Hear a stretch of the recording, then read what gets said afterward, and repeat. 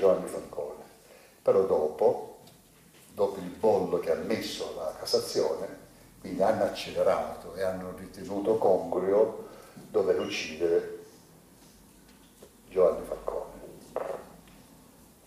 Con Borsellino io ho lavorato fino all'ultimo venerdì della sua vita, ovvero il 17 luglio del 92. Io ero a Roma alla DIA, l'attenzione investigativa antimafia, insieme a Paolo Borsellino e stavamo interrogando il pentito Gaspari Mutolo. Finito l'interrogatorio, ci siamo saltati come era già avvenuto negli altri due precedenti interrogatori, ne abbiamo fatto tre in tutto, ci siamo detti ci vediamo il lunedì successivo e invece purtroppo, come voi sapete, la domenica, 19 luglio, in via D'Amelio, purtroppo Borsellino è morto con i miei colleghi. È morta la prima donna poliziotta. C'è un problema molto anche, un appendice anche macabra se vogliamo. L'Arma dei Carabinieri ogni anno fa un'agenda e di colore ogni anno cambia il colore. Quello, quell'anno l'agenda era di colore rosso e fu regalata al dottor Paolo Borsellino. Il dottor Borsellino aveva due agende, una grigia dove ci annotava tutte le spese, persino anche il pacchetto di sigarette perché era meticoloso su questo, persino, persino anche il, il, il, prezzo del caffè che prendeva, quindi aveva questa agenda dove praticamente era costantemente aggiornata, minuto per minuto, e poi aveva questa agenda rossa che dicono, io l'ho vista l'agenda rossa, ma non ho letto il contenuto, perché quel giorno, il 17 luglio, il venerdì, l'aveva, prima di iniziare l'interrogatorio l'ha sfogliata, ha guardato qualcosa di scritto, nel frattempo che lui leggeva, magistrati che erano insieme a Borsellino hanno fatto una domanda che non avrebbero dovuto fare a Mutolo. Il dottor Borsellino si arrabbiò tantissimo perché non era il momento per fare quella domanda, perché c'era una scaletta, lui si era fatto una scaletta degli interrogatori e gli interrogatori era, prima di tutto, le famiglie di Cosa Nostra, come erano composte, l'aggiornamento rispetto a quello che aveva raccontato un altro pentito, Buscetta, tra virgolette ho avuto anche l'ho conosciuto perché abbiamo fatto degli interrogatori assieme, quindi con Buscetta, ho conosciuto anche Buscetta, e quindi in aggiunta a quello che Buscetta ci aveva raccontato, eh, Borsellino aveva l'intenzione di aggiornare la mappa, la mappatura Cosa Nostra siciliana. Questo era uno dei primi obiettivi. Poi l'altro obiettivo che ci avevano comunicato ovviamente a noi, alla direzione investigativa antimafia e a noi che partecipavamo agli interrogatori. E come secondo obiettivo erano gli omicidi, gli omicidi di mafia, sia eccellente, eh, omicidi eccellenti, che sia quelli di, verso i personaggi delle istituzioni, magistrati e poliziotti. Infine, dovevamo trattare alla fine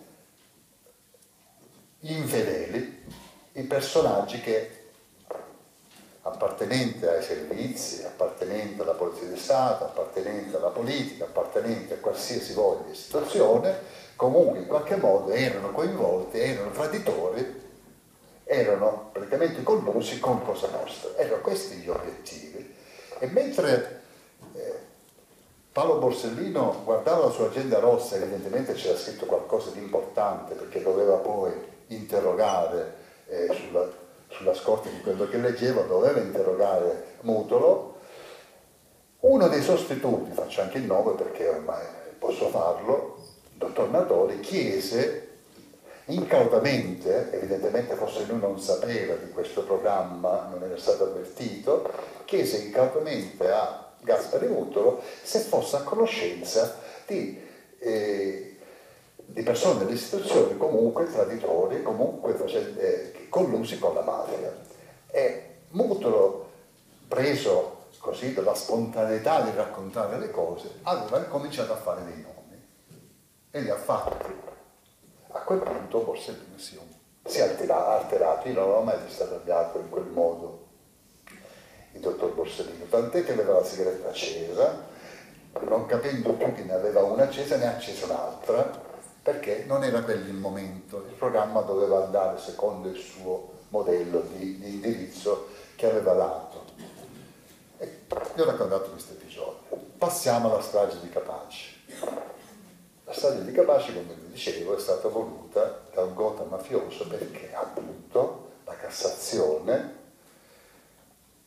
ha confermato tutti gli ergastoli, mentre una parte politica aveva dato assicurazione a Totorina che tutto sarebbe finito in un nulla come in passato era successo, perché negli anni passati dovete sapere ragazzi che tanti processi di mafia sono stati fatti, sono finiti tutti con per insufficienza di prove. Io vi potrei portare una caterva di, di eh, di processi che sono finiti con questa formula, che adesso non esiste più la formula per insufficienza di prove, adesso questa formula è stata cambiata. Però tutti i processi di mafia, ve ne cito uno per tutti, potete andare a vedere per vostra curiosità, quella di Catanzaro. Se andate a guardare la sentenza di Catanzaro, dove, dove già c'era il signor Salvatore Riina, vi rendete conto Ricordate com'era una volta la mafia, che potenza che aveva. E l'arrivo di Chinnici, Falcone, Borsellino, Cassarà, Boris e Giuliano, che hanno fatto la fiscia dell'altro giorno e io non ho visto e non vedo perché non guardo film di mafia, non mi interessano, quindi non li guardo proprio per indole. Ecco, tutte queste persone sono messe, sono messe contro la mafia e quindi hanno pagato con la vita. Permettetemi di fare un riferimento anche in onore alla divisa che, che indossa uno dei miei figli, che è un maresciallo dell'arma dei carabinieri, comandante di stazione, e sono orgoglioso di questo.